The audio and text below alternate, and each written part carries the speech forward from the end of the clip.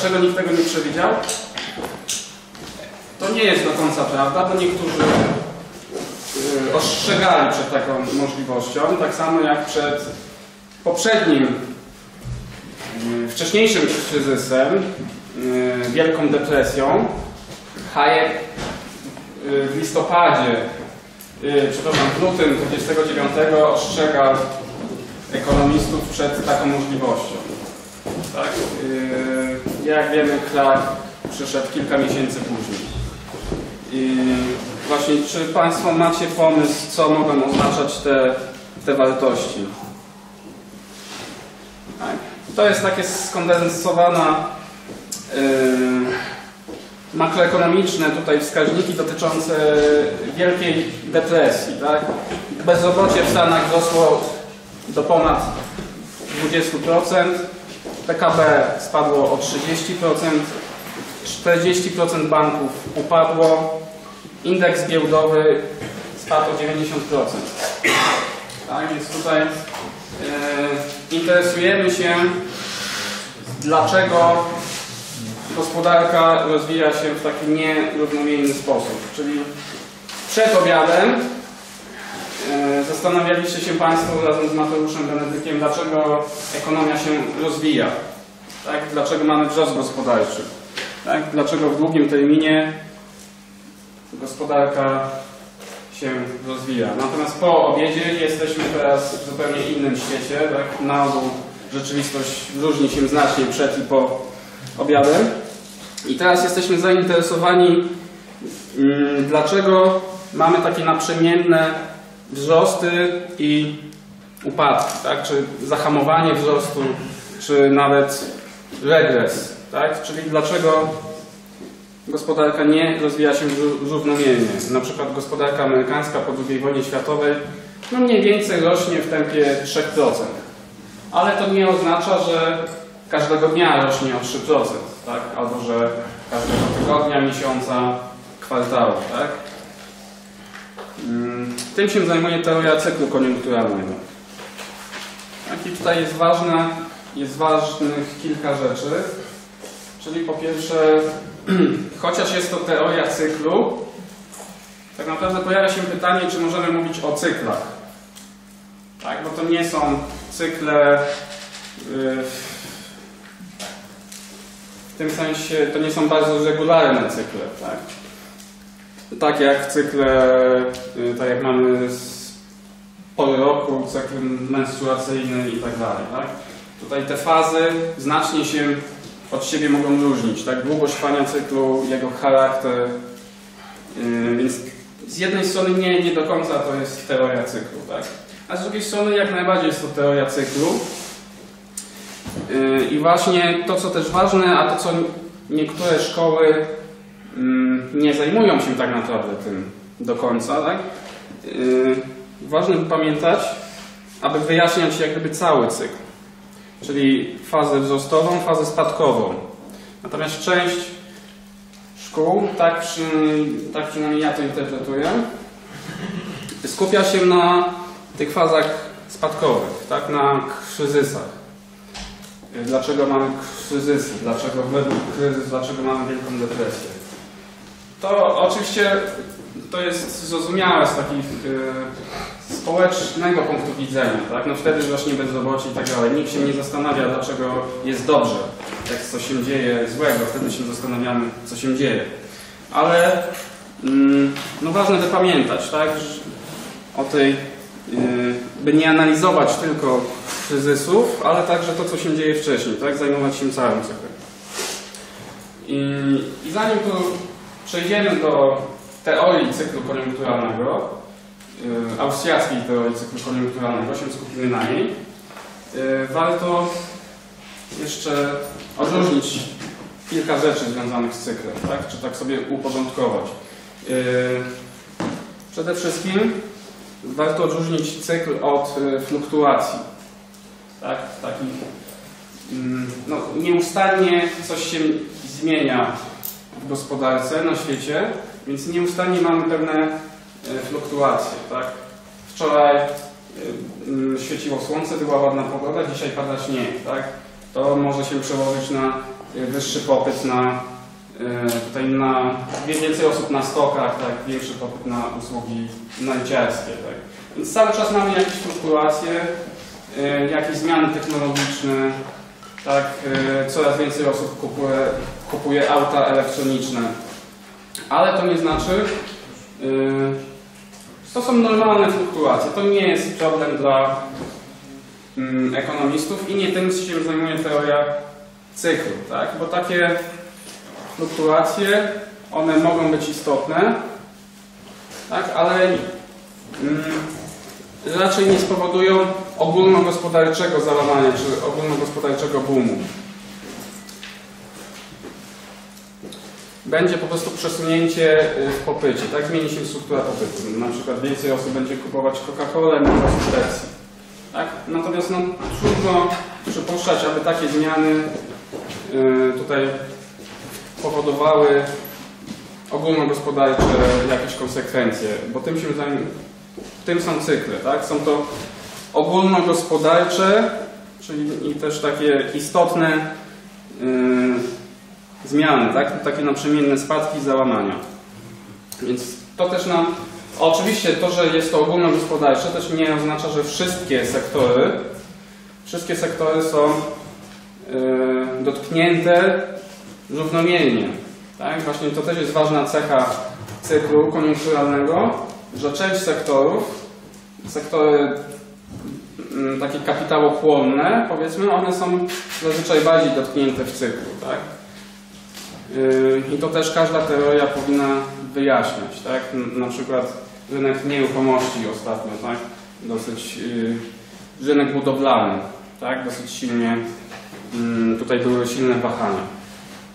Więc tutaj ten fakt, że są to ogólnogospodarcze zmiany, yy, też nam podpowiada jedną, jedną ważną rzecz, a mianowicie rolę pieniądza.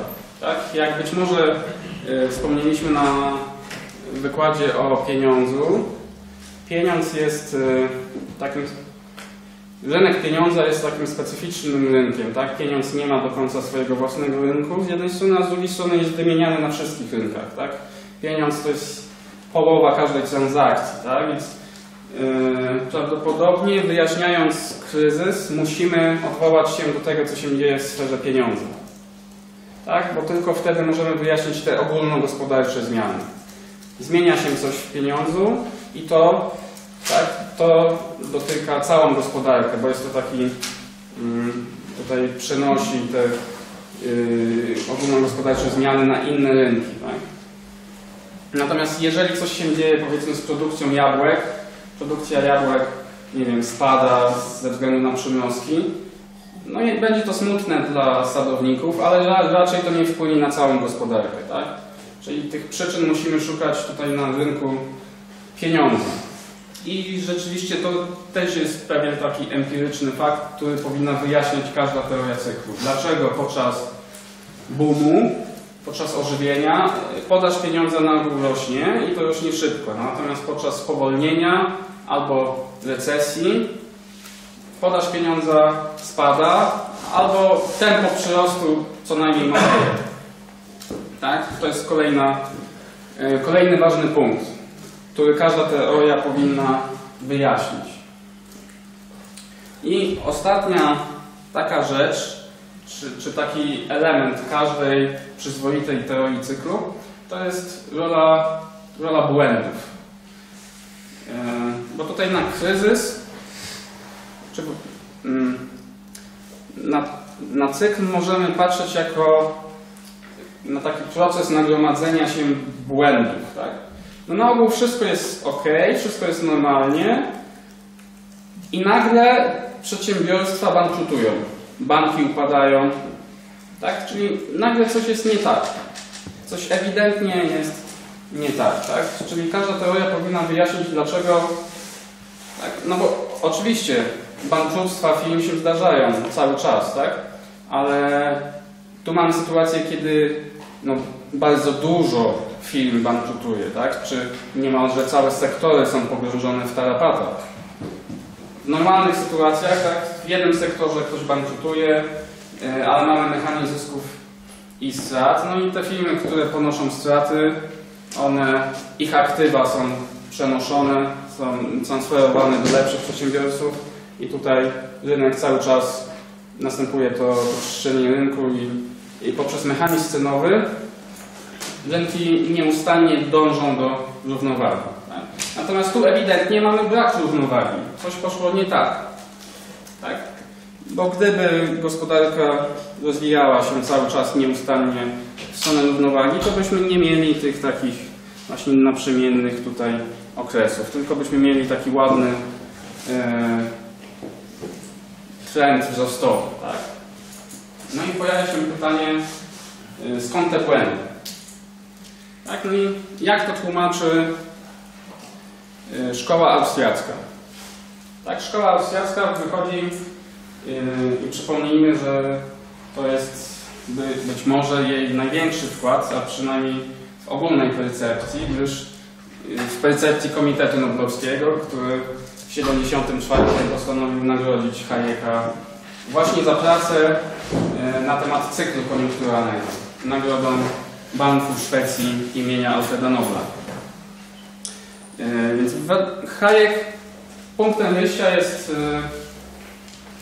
obserwacja, że system cenowy czy mechanizm cenowy jest to system przenoszenia, mm, sygnalizowania informacji. Tak?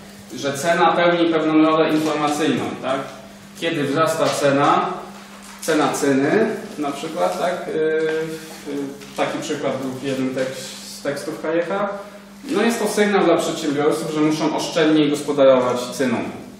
Tak? Że muszą poszukać może jakichś innych substytutów, albo że warto zaangażować się w produkcję cyny, bo jest to teraz jej cena jest wyższa. Tak? Są to jakieś sygnały na temat tutaj relatywnej rzadkości i, i preferencji konsumentów. Tak? No i podobnie, podobną rolę pełni stopa procentowa. Tak? Jest to nawet kluczowa cena i właściwie austriacka teoria cyklu y, zaczyna się od takiej trywialnej obserwacji, że stopa procentowa to nie jest y, przypadkowa liczba. Ona niesie za sobą bardzo ważną informację. Tak? Stopa, kiedy stopa procentowa jest wysoka, no jest to taki sygnał, że y, kapitału, oszczędności jest niewiele, konsumenci nie są zbyt chętni do czekania. Tak? Y, Natomiast kiedy stopa procentowa jest niska, no jest to sygnał, że tych oszczędności jest dużo przedsiębiorcy mogą rozpocząć y, projekty inwestycyjne. Wiele zaawansowanych takich procesów inwestycyjnych. Tak? Więc, mm, i- więc to jest bardzo ważna rola stopy procentowej. I tutaj y, pojawia się, tak, y, bo stopa procentowa koordynuje produkcję w czasie. Tak? E, Czyli jak y, inne ceny nam mówią tutaj o, o takich zmianach sektorowych, tak? Jak powiedzmy rośnie cena tej ceny, no to jest to taki sygnał, że powinniśmy wejść do tego sektora na przykład, tak? Jak się zmienia stopa procentowa z kolei, to nam mówi coś o tym, o tym wymiarze wertykalnym. Tak, każda, każda produkcja, y, w tym, mówię tu o tym wymiarze czasowym, każda produkcja zachodzi w czasie, tak? I właśnie tę produkcję, tę działalność koordynuje stopa procentowa. Tak, czyli mm, możemy to naszkicować być może.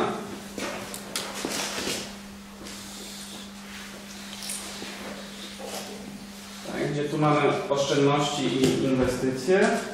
Tu mamy właśnie stopę procentową. Mamy tak, no i zgodnie tutaj mamy, mamy inwestycje, czyli popyt na e, środki pożyczkowe. Tak? Przedsiębiorcy zgłaszają popyt na te środki. Natomiast y, tutaj mamy podaż oszczędności.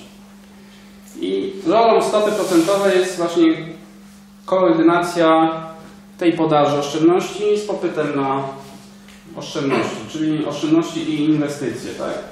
No i według tego standardowego ujęcia rynek znajduje się w równowadze.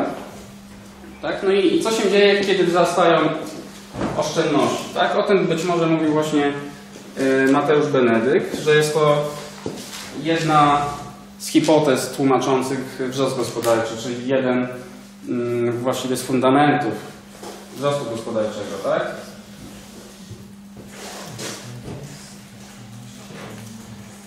Gdzie jeśli wzrastają nam oszczędności, tak, to stopa procentowa spada. Tak? I mamy więcej inwestycji. Tak? Ten wzrost oszczędności umożliwia sfinansowanie większej liczby projektów inwestycyjnych. Tak? Yy. No i teraz dochodzimy do, do sedna tak naprawdę austriackiej teorii cyklu koniunkturalnego. Tak? Bo wiemy już, że jest ważna, ważna rola mechanizmu cenowego, ważna rola stopy procentowej i, i teraz teoria musi wyjaśnić jeszcze w jaki sposób ta stopa procentowa zostaje zaburzona. Tak, bo według tego ujęcia problem bierze się z tego, że stopa procentowa zostaje zaburzona, jest, yy, zostaje zaniżona. Tak? I jak to się dzieje? No, według tej teorii wynika to z tego, yy, wynika to z tego, że banki komercyjne tworzą kredyt. Tak? Zgodnie tutaj yy, mają taki przywilej, yy, że kiedy. Tak, to był wykład chyba na temat bankowości. Tak, Mateusz? No to właśnie zgodnie tutaj z tym, co, co, yy, co mówił Mateusz, tutaj banki tworzą, yy, tworzą kredyt. Tak? No i wtedy yy, jest tak, jak gdyby te oszczędności się zwiększyły. Tak? I na tym polega cały ambaraz, że to jest jak gdyby oszczędności się zwiększyły, a one w rzeczywistości według szkoły austriackiej się nie zwiększyły. Tak? Bo tutaj za ten, za ten wzrost nie odpowiadają rzeczywiste oszczędności, tylko kredyt bankowy. Czyli mamy, yy, i dlatego według szkoły austriackiej będziemy mieć niestabilny boom. Tak? Bo mamy sytuację, kiedy, mm, tak, kiedy przedsiębiorcy myślą, interpretują ten spadek stopy procentowej tak, że nam się zwiększyły oszczędności. Ale w rzeczywistości stopa procentowa się zmniejszyła, ale nie ze względu na przyrost oszczędności, tylko ze względu na wykreowany kredyt. I, i co najbardziej tutaj jest y, ciekawe, czy perwersyjne, że przy tej niższej stopie procentowej, tak jak powiedzmy tu yy, przy niższej stopie procentowej, tak, właściwie oszczędności będą niższe, tak, bo tutaj się przesuwamy. Jak spadają stopy procentowe, no to nasza skłonność do oszczędzania przy niższych stopach procentowych yy, spada. Tak więc w rzeczywistości, w rzeczywistości przy niższej stopie procentowej te oszczędności będą niższe, Natomiast przedsiębiorcy tak, interpretują ten spadek stopy procentowej jako przyrost oszczędności. Tak? Więc powstaje, powstaje nierównowaga pomiędzy podażą dostępnych oszczędności a inwestycjami. Tak?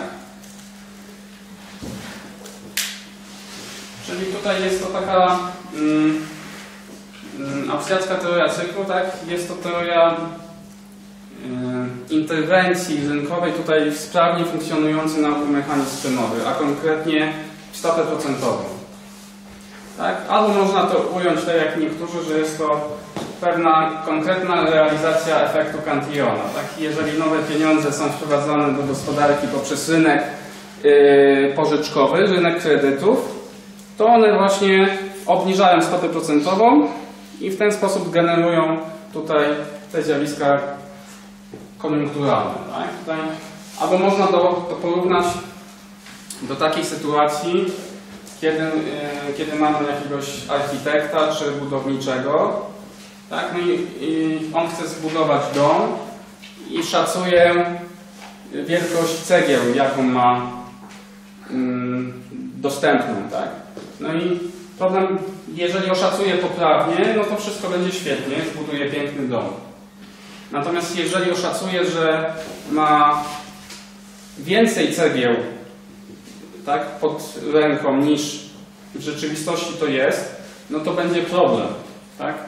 To będzie problem, zacznie budować okazałe fundamenty, stawiać piękny, piękny parter i w, i w tym momencie nagle się okazuje, że ma za mało cegieł. cegieł. Tak? Więc tutaj będzie musiał zrewidować swoje plany i być może, mimo że pierwotnie dom miał mieć 5 pięter, będzie musiał skończyć na budynku o dwóch piętrach tylko. Tak? Więc to też ważne, bo czasem austriacka teoria cyklu jest przedstawiana jako teoria przeinwestowania. Tak? I to nie do końca jest prawdą, bo yy, według ekonomistów austriackich yy, podaż oszczędności no nie może być więcej inwestycji niż jest realnych oszczędności w gospodarce. Tak? Yy, więc można powiedzieć, że tutaj te inwestycje będą większe niż planowane, może tutaj jest to bardziej, są to bardziej błędne inwestycje, tak? Bardziej błędne inwestycje. Czyli, że tak jak w tym przykładzie z domem budowniczym, tak? Ten dom będzie, jego projekt jest błędny, tak?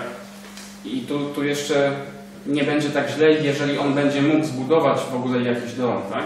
Problem, prawdziwy problem pojawi się wtedy, kiedy będzie musiał na przykład zarzucić swój projekt, tak? Bo nie będzie mógł z pięciopiętrowego domu zbudować dwupiętrowego domu, tak?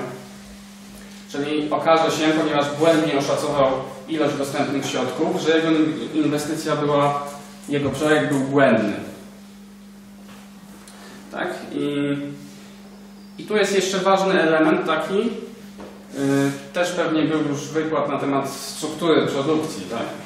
To też jest dosyć istotny element, że nie wszystkie E, że w szkole mamy różne stadia produkcji, tak? I te różne stadia produkcji w różny sposób reagują, powiedzmy, na stopę procentową, tak?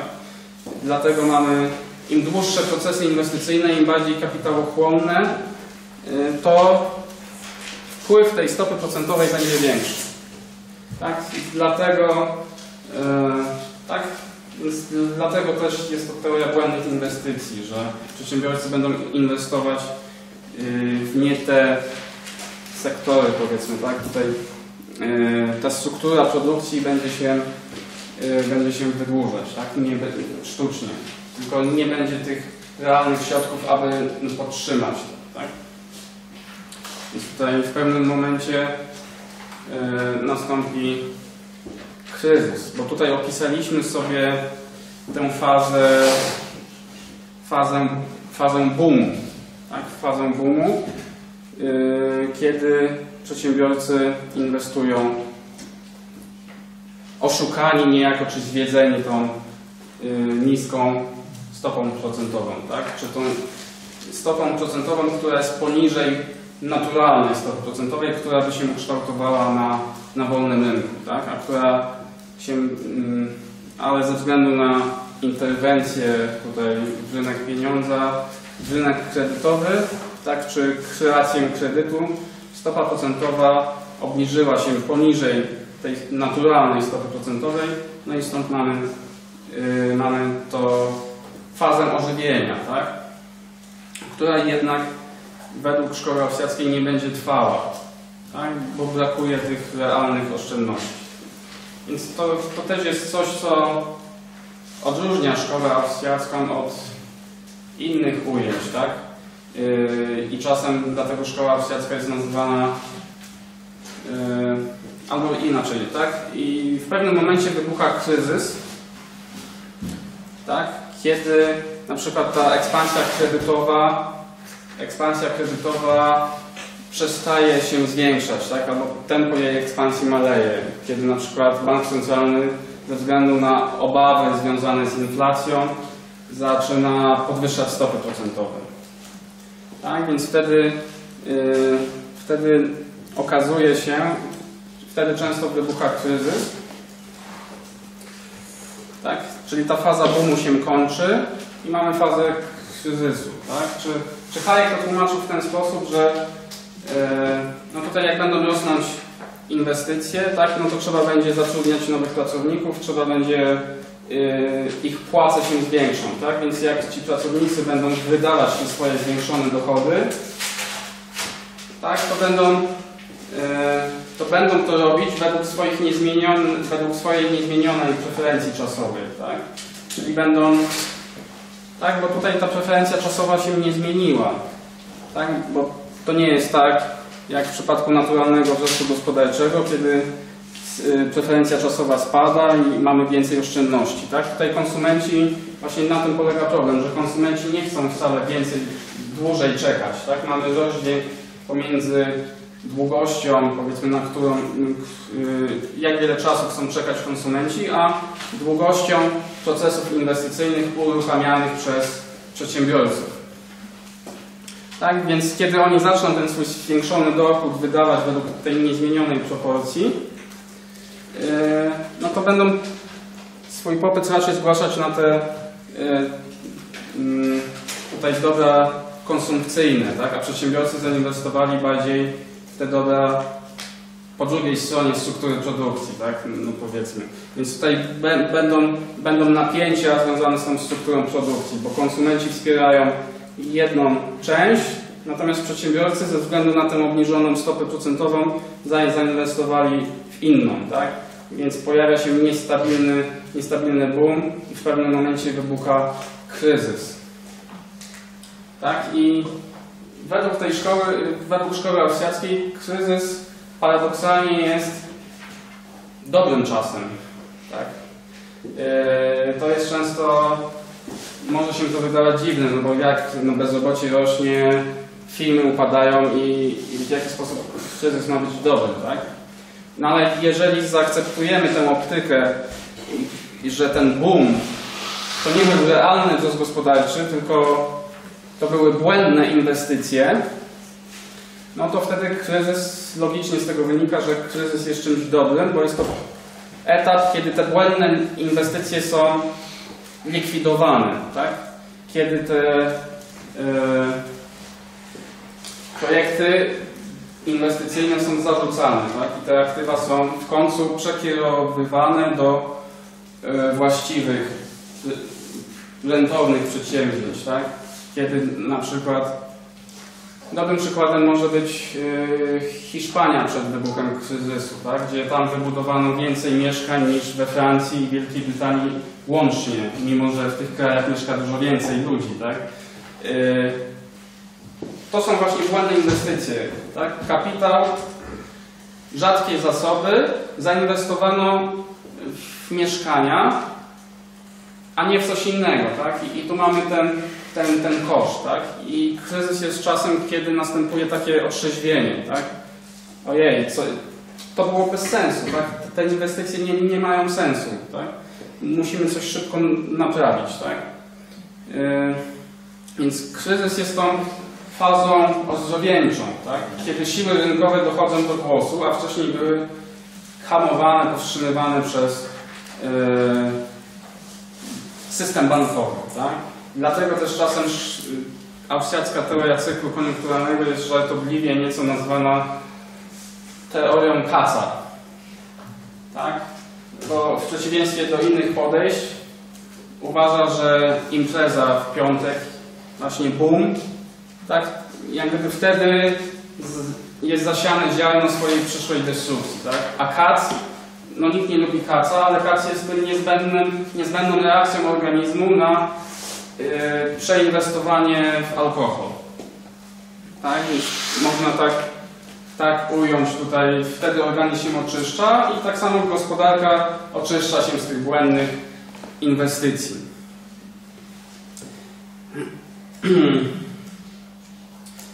Więc yy, to chyba tyle, jeśli chodzi w takim telegraficznym skrócie, jeśli chodzi o austriacką teorię cyklu koniunkturalnego. E, oczywiście to nie jest jedyna teoria cyklu koniunkturalnego, tak? Jest wiele, jest wiele, mm, jest wiele innych teorii, tak? Na przykład teoria monetarystyczna, czy teoria keynesowska i teoria realnego cyklu koniunkturalnego. To są prawdopodobnie najbardziej yy, popularne teorie cyklu koniunkturalnego. Tak? I w jaki sposób teoria no, keynesowska tłumaczy cykl koniunkturalny? Tak? No tutaj są, są dwa takie kluczowe elementy. Yy, zwierzęce instynkty oraz yy, sztywność cenowa, tak bym powiedział. Czyli najpierw mamy pewną sytuację, kiedy spada. Tak, yy, no punktem wyjścia są zwierzęce instynkty. Tak, czyli przedsiębiorcy nagle przestają być optymistami, a zaczynają być pesymistami, tak?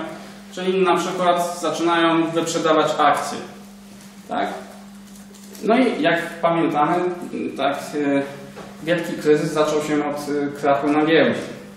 Więc nagle stają się pesymistami, wyprzedają akcje, no to wtedy jak cena akcji spada, jak gdyby majątek tutaj, czy, czy poczucie bogactwa ludzi się obniża, ograniczają swoje wydatki. Tak? To jest bardzo ważne w teoriach keynesistowskich, że spadają nominalne wydatki, tak? zagregowany popyt się obniża. No są też jakby odpowiedzią na kryzys powinna być interwencja, interwencja rządu, aby stymulować ten zagregowany popyt, na przykład poprzez politykę fiskalną albo poprzez politykę monetarną, jak z kolei zalecają monetaryści, aby uzupełnić ten spadek w zagregowanym popycie. Tak? Bo spadają inwestycje, tak? Te, pojawiają się te zwierzęce instynkty, przedsiębiorcy zaczynają się, są pesymistami, ograniczają inwestycje. Tak? No i tu jeszcze często jest takie założenie o, o sztywnych cenach. Tak? No bo jakby dostrzegają to, że normalnie mechanizm cenowy przywraca równowagę. Tak? Jakby spadł dochód, to powinny spaść ceny i powinniśmy się znaleźć w równowadze. Dlatego często keynesiści zakładają, że te ceny są sztywne, zwłaszcza płace w dół i dlatego nie spadają, więc produkcja spada, a nie ceny. Tak? Więc produkcja musi się obniżyć i stąd mamy takie, mm, taką cykliczność w gospodarce. Więc to jest taka teoria, yy, tak, no być może mamy pewne, yy, w pewnym sensie yy, łatwo zrozumieć, dlaczego one są popularne, tak? Właśnie mamy krach na giełdzie, czy upadek Lemana ostatnio, więc rzeczywiście można to jakoś powiązać z, tymi zwierzęcymi instynktami, tak? I też wyraźnie widać, że mamy spadek, spadek wydatków, tak? Więc to jest, yy, to widać, tak? Tylko to jest takie podejście psychologiczne, yy, bym powiedział, tak? No bo dlaczego nagle yy, zmienia się nastrój, tutaj to, to podejście z optymistycznego na pesymistyczne, tak? Skąd te zwierzęce instynkty? No tego ta teoria już nie, nie tłumaczy. Więc to, to pewnie nie jest taką jej y, słabością. Tak? Y, no inny problem jest taki, że tu mamy zmiana oczekiwań i ona prowadzi do zmiany w realnej rzeczywistości, w obiektywnej rzeczywistości. Tak? Natomiast ten związek przyczynowo-skutkowy może przebiegać odwrotnie, tak? że coś się dzieje w gospodarce i dopiero na przykład gospodarka popada, y, wpada w kryzys, no i wtedy się zmieniają oczekiwania. Tak? Natomiast tutaj one się egzogenicznie zmieniają. Y, drugą taką teorią konkurencyjną jest teoria monetarystyczna. Tak? I ona w pewnym sensie jest podobna do teorii keynesowskiej, bo też yy, jak gdyby przyczyny zła upatruje w spadku nominalnych wydatków. Tak? Yy, tylko oni się skupiają, że wydatki spadają, ponieważ podaż pieniądza spada. Tak? I rzeczywiście tu też jest pewien taki empirycznie trafna obserwacja, bo podczas wielkiego kryzysu w Stanach Zjednoczonych podaż pieniądza spadła. I przy Więc yy, przyczyny kryzysu właśnie jest, spada podaż pieniądza. Mm, No i tutaj monetaryści obwiniają amerykański bank centralny, że nie zainterweniował, że nie odpowiedział na spadek podaży pieniądza i nie, nie zwiększył bazy monetarnej, tak, aby tutaj przeciwdziałać temu spadkowi podaży pieniądza. Tak? yy, I też tutaj w tej teorii monetarystycznej, mm, tak jak w teorii keynesowskiej, tak, yy, tak naprawdę szkoła austriacka, tak, dlatego jest zwana e, teorią Katza, że ona zaczyna od, od boomu, który jest niestabilny i powoduje kryzys, tak? Czy powoduje y, kryzys, re- recesję, później mamy znowu sztuczny boom, bo znowu mamy ekspansję kredytową. Natomiast tutaj jest, wszystko jest dobrze i później nagle mamy recesję i później znowu wszystko jest y, i później mamy odbudowę, mamy ożywienie, tak? Jak gdyby tym jest trochę przesunięcie faz cyklu, tak? No i tutaj w przeciwieństwie z kolei do, do teorii keynesowskiej jest większy nacisk na e, politykę monetarną. Tak? E, tak jak keynesiści raczej wolą, polity, wolą politykę fiskalną, to monetaryści mówią, że no, bank centralny powinien e, prawidłowo regulować podaż pieniądza, aby zapobiegać cyklom, tak? czy aby przeciwdziałać cyklom. Tak? Więc tutaj, mm, no tutaj już nie ma te, tak, czy, czy punktem wyjścia, punktem wyjścia w tej teorii jest w pewnym sensie ilościowa teoria pieniądza, tak? No w długim terminie podaży pieniądza wpłynie na ogólny poziom cen, tak? Przynajmniej tak twierdzą monetaryści, bo wiemy, że ze względu na znajomy efekt tak do końca nie jest, tak? Ale w krótkim terminie mamy tak, że yy, no ten proces trochę trwa, tak? Te ceny muszą się dostosować, więc w krótkim okresie ta produkcja też się zmieni. Więc jeżeli spada podaż pieniądza, M spada, to w długim okresie, ok, ceny się dostosują, tak? Spadnie tylko P. Natomiast w krótkim okresie no, będą też pewne dostosowania po stronie produkcji, tak?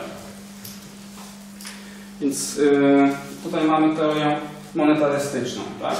No i jest jeszcze teoria realnego cyklu koniunkturalnego.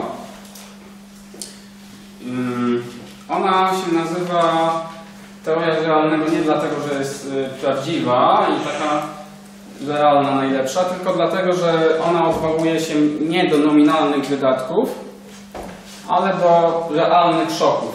Tak? Yy, na przykład mamy jakiś szok technologiczny albo mamy kryzys naftowy. Tak? Yy, drastycznie zwiększa się cena yy, kluczowej ropy naftowej. Tak? I to jakby powoduje taki egzogeniczny, zewnętrzny szok.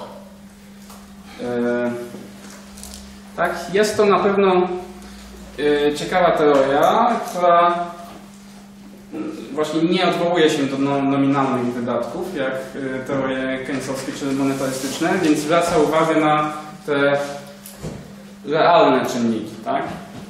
Więc to, to, to jest ciekawe. Natomiast yy, no właściwie to nie jest teoria cyklu, tak? Bo według niej właściwie e, można powiedzieć, że mamy sytuację, mamy sytuację bardziej taką, tak? Że to właściwie samo to tempo długoterminowego wzrostu fluktuuje, tak? Nie, że mamy tempo wzrostu i wokół niego mamy te naprzemienne ogólnogospodarcze boomy i basty, tylko ma, mamy zmiany w tym trendzie ze względu na to egzogeniczne szoki, tak? Albo mamy jakiś yy, kataklizm naturalny, tak? Czy zmiany technologiczne. Yy, to są tego typu, tego typu tutaj przyczyny są w tej teorii cyklu, tak?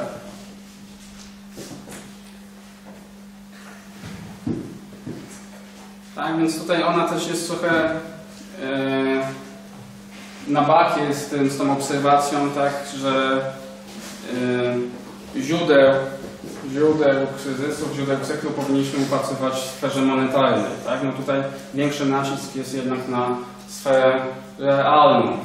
Tak? I tutaj rzeczywiście ona może wyjaśniać pewne e, kryzysy, tak? natomiast raczej nie wyjaśnia mm, powracających takich ogólnogospodarczych cykli, mm, cykli tak? w aktywności gospodarczych.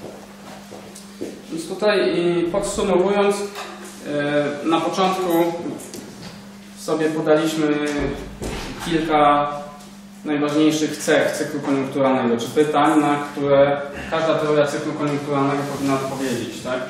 Czyli, że cykl jest to, są to ogólnogospodarcze zmiany w aktywności gospodarczej, że jest to nagromadzenie się błędów w gospodarce, tak? I że pewne sektory, sektory dóbr kapitałowych reagują w większym stopniu niż inne, tak? Czyli mamy zmiany w strukturze produkcji, tak? To też jest ważne, bo inne teorie się skupiają tylko na zagregowanym popycie, na inwestycjach ogółem, na wolumenie inwestycji, tak? Tutaj w szkole austriackiej jest ważna ta struktura produkcji, tak? Nie tylko sama wielkość inwestycji, ale jak gdyby kluczem jest, e, że te inwestycje są błędne, tak? Ważne jest nie to, nie tylko to, ile przedsiębiorcy inwestują, ale także w jakie projekty inwestycyjne. Tak? Więc wydaje się, że najlepiej mm, odpowiada na te, na te pytania, tak? bo odpowiada, dlaczego mamy nagromadzenie się błędów. No bo mamy obniżoną sztucznie stopę procentową, czyli tę kluczową cenę w gospodarce, więc przedsiębiorcy odbierają to, odczytują to jako sygnał, że mamy większą ilość oszczędności niż to jest w rzeczywistości. Tak? Mamy yy, tak ze względu, tak ta stopa procentowa zostaje obniżona ze względu na kreację kredytu. Yy, więc nam to tłumaczy to, yy, tłumaczy te ogólnogospodarcze cykle, tak, że jest to związane właśnie ze zmianami w podaży pieniądza, tak, bo jeżeli banki kreują kredyty, no to zwiększa się podaż pieniądza, tak. A jeżeli mamy na przykład yy, fazę, mamy recesję, no to jeżeli banki upadają, tak jak tutaj wielki kryzys, 40% banków upadło, tak, no to podaż pieniądza się zmniejszyła, tak. I też właśnie to są dobre przykłady, Wielka Depresja, Hayek przed nią przewidywał na kilka miesięcy przed wybuchem kryzysu, tak, bo właśnie zwracał uwagę, że y, ten boom, czyli te szalone lata 20, że one są nie do utrzymania, tak, czyli mamy niestabilny boom. I w ten sposób tłumaczą Wielką Depresję, że była ekspansja kredytowa, no i później był kryzys, tak. Natomiast monetaryści tłumaczą y, właśnie, że spadła podaż pieniądza, ale ona spadła, no bo banki upadły jak wybuchł kryzys, tak.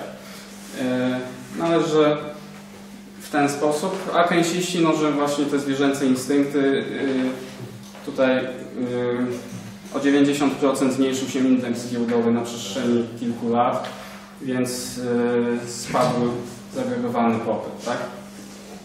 Jakby w ten sposób y, szkoła austriacka to tłumaczy, tak? No też te szkoły różnią się jak gdyby rekomendacjami dla polityki, tak? Keynesisi sugerują mm, taką stymulacyjną politykę fiskalną, monetaryści większy nacisk kładą na politykę monetarną. Szkoła austriacka uważa, że rząd powinien mm, pierwszej kolejno- kolejności przeciwdziałać boomom, E, a jeżeli już mamy recesję, to nie powinien przeszkadzać, tak? Czy powinien albo wspierać elastyczność mechanizmu cenowego, aby jak najszybciej e, rynek się oczyścił, tak? Czyli nie powinien nie dopuszczać do, do spadku cen, tak? E, No i tutaj mamy ostatni kryzys, tak? On nie był tak głęboki jak Wielka Depresja. E, PKB spadł tylko o 4%, tak? Ale ten kryzys, który jest drugim największym, naj, największą recesją, e, przynajmniej tutaj w krajach rozwiniętych, w Stanach, e, no też w ten sposób jest tłumaczony przez szkołę austriacką, że była zbyt luźna polityka monetarna, za duża ekspansja kredytu, tak, były błędne inwestycje, zwłaszcza w sektor nieruchomości. Tak, to też ciekawe, no bo najpierw była bańka na dotcom w 2001, była recesja i niejako E, tak, później stwierdzono, że no, rynek akcji tutaj ta bańka pękła i zaobserwowano, że nieruchomości, ich ceny nie spadły, więc teraz ludzie zaczęli inwestować w nieruchomości, tak? więc, ale no, to były błędne inwestycje. No i tutaj po, po wybuchu tego kryzysu zainteresowanie szkołą marsjarską zdecydowanie wzrosło. Tak? Yy, No nawet jeszcze wcześniej tak, był w The Economist taki artykuł, że właśnie obecna sytuacja ma wiele, wie, yy, w dużym stopniu przypomina tutaj to, co opisuje szkoła austriacka. Tak? Yy, Ekonomiści pracujący w Banku Rozrachunków Międzynarodowych też często się odwołują do szkoły austriackiej, więc wydaje się, że jest to żywa teoria i też wciąż uzupełniana o, o nowe yy, aspekty przez młodych, przez młodych badaczy. Tak? Na przykład yy, wydaje mi się ciekawe, ciekawym polem do ulepszenia tej teorii jest tak, bo Hayek pisał znacznie wcześniej, znacznie wcześniej, kiedy większość kredytów to były kredyty inwestycyjne dla przedsiębiorstw. Obecnie sytuacja jest trochę inna, bo większość kredytów to, jest, to są kredyty hipoteczne dla gospodarstw domowych. Więc mm, jak gdyby ta podstawa, podstawowy mechanizm cyklu koniunkturalnego jest niezmieniony, ale tutaj w praktyce będzie to wyglądać trochę inaczej. Tak? Więc jest to wciąż e, żywy paradygmat i mam nadzieję, że będzie w dalszym ciągu rozwijany. Tak? To z mojej strony to wszystko i zapraszam, zachęcam do zadawania pytań.